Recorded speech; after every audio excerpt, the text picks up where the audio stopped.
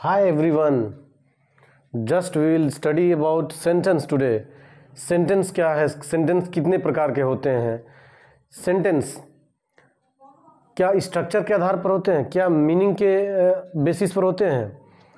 How many sentences are there just we will discuss today from starting we will learn English if you want to learn correct english if you want to write correct english if you want to speak correct english let us study let us start from today we will study about sentence sentence sentence is a group of words which make sense is called sentence ऐसे शब्दों का समूह जिसे कुछ अर्थ निकलता हो वो sentence कहलाते हैं सेंटेंस जब भी हम बोलेंगे whenever we speak we speak in sentence and the sentence is the group of words कई शब्दों का समूह होता है, उसे हम सेंटेंस कहते हैं। For example little Jack Horner sat in a corner it is the example of sentence Shantanu works hard it is example of sentence on the basis of meaning, we will discuss today about the sentences. Like assertive sentence. Assertive sentence, a sentence that makes statement as assertion. ऐसा sentence जो assertion बनाए, या statement बनाए, कथन बनाता हो, या हम दूसरे शब्दों में कह सकते हैं कि कोई तथ्य को सीधे सीधे वो असर्ट्स करने, स्वीकार करने योग्य बनाता हो। यानी कि स्वीकारात्मक वाक्य इसको कहते हैं। फॉर एग्ज़ाम्पल हम देखते हैं Chandrayaan three landed successfully on the moon तो ये जो फैक्ट है we accept this fact that Chandrayaan three landed successfully on the moon boy sat on wall. लड़के एक दीवार पर बैठे थे। It means it is fact and we make it assertion in other words we can write we watch we watch videos on YouTube. This is also a kind of assertive sentence because we asserts whatever we are speaking that we asserts that is called assertive sentence. And then we will know about the next sentence that is interrogative sentence that is interrogative sentence what are interrogative sentence this kind of question comes in our mind interrogative sentence कौन से होते हैं? तो interrogative sentence हो group of words होते हैं that ask a question a group of words a sentence a sentence that that ask a question that ask a question that is interrogative sentence. Questions can be asked in form of two ways. For example where do you live? Where do you live? Where do you live? Such kinds of question. Why are you late? Why are you late? This is also a question. Next do you do you watch do you watch youtube classes? Do you watch youtube classes? Here the sentence interrogative sentence has form in the style of auxiliary verb. It means there are two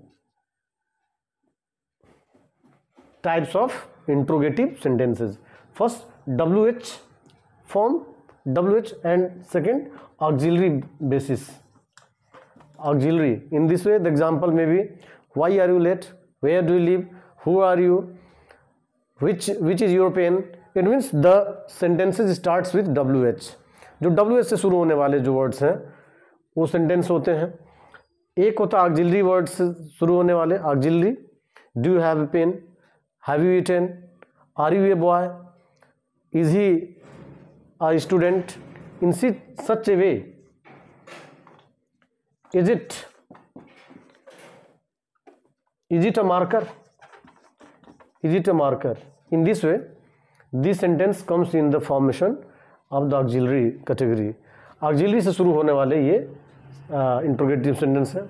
W H से शुरू होने वाले जो interrogative sentence है why which which where who whom when although this may be different parts of speech in later chapter we will discuss but uh, यहाँ पर जो W H आ रहा है इसे क्वेश्चन बन रहा है और इस टाइप के sentences on the basis of meaning interrogative के अंतर्गत आते हैं यही चीज़ें रिलेटिव प्रोनाउंस में भी आएँगी यही चीज़ें रिलेटिव एडवर्ब्स में भी आएगी। हम लोग अगले चीज़ में देखेंगे, अगले सेंटेंस में देखेंगे, अगले चैप्टर में देखेंगे। Will discuss sentence which expresses command a sentence which gives entreaty the request such kind of sentences are known as imperative sentences ऐसे वाक्य जिसमें विनय हो, आदेश हो, इस तरह से सीधे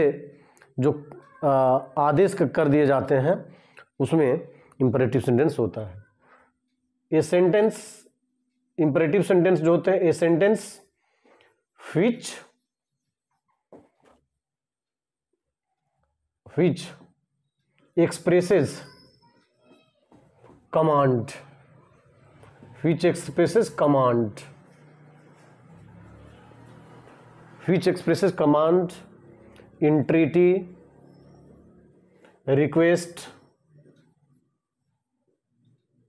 ETC ऐसे सेंटेंस जिसमें कि कमांड दिया जाता हो, आदेश दिया जाता हो रिक्वेस्ट किया जाता है अनुनय विनय किया जाता है, उस तरह के अगर वाक्य आते हैं sentence a group of words that's are called imperative sentence for example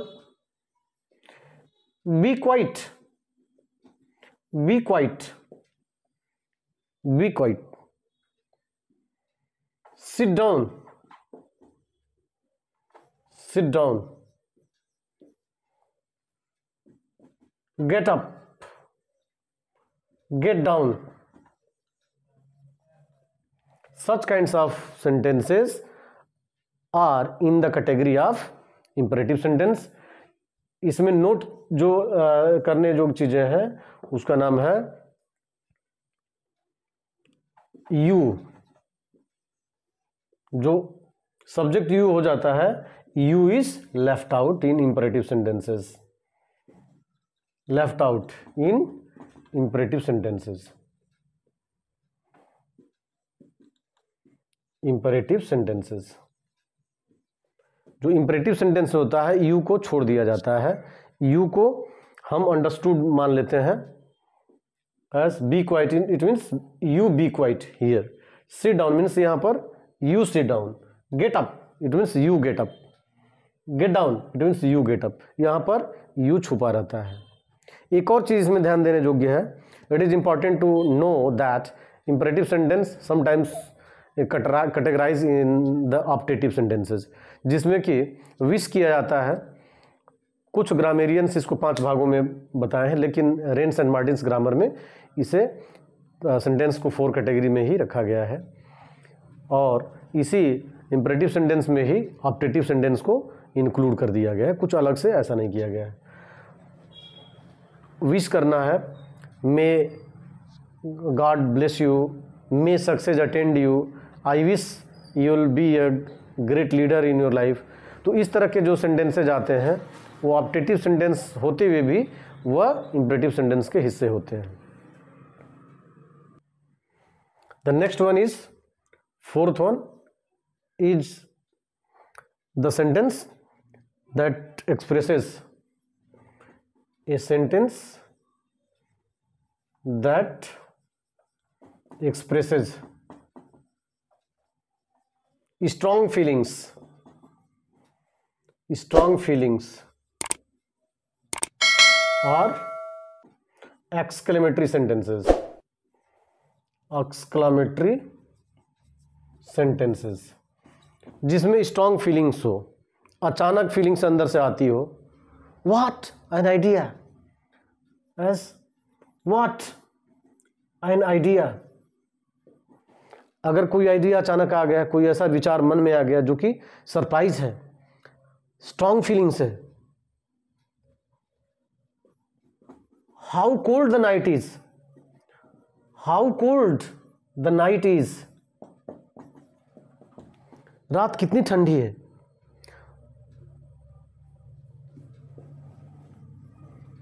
What a beauty what a beauty oh she is dead oh she is dead इसमें स्ट्रॉन्ग फीलिंग्स है। अचानक what an idea what a beauty how cold the night is oh she is dead in this way the sentences are in, in the category of exclamatory sentence. तो exclamatory sentence के बाद हम लोग फिर आगे जानेंगे कि सेंटेंस को जो डिवाइड किया गया है बांटा गया है जो स्मॉलेस्ट जो बांटा गया है सब्जेक्ट एंड प्रेडिकेट के रूप में बांटा गया है।